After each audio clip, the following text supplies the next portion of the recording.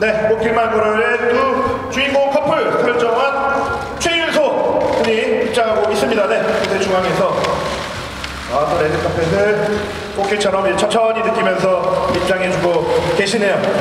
아, 역시 매너 있게. 먼저 왼쪽 끝부터 함께 할까요? 네, 왼쪽입니다. 왼쪽 몸을 좀 들으셔서 왼쪽부터 나란히 우수상 또 1인자만 부분에 후보를 올리셨거든요. 네, 이어서 중앙, 11시 방향, 또 중앙, 1시 방향 차례차례 시선을 부탁을 드리겠습니다. 네, 시청자분들을 위한 또 하트 포즈 좀 부탁을 드릴까요? 네, 포즈, 포즈.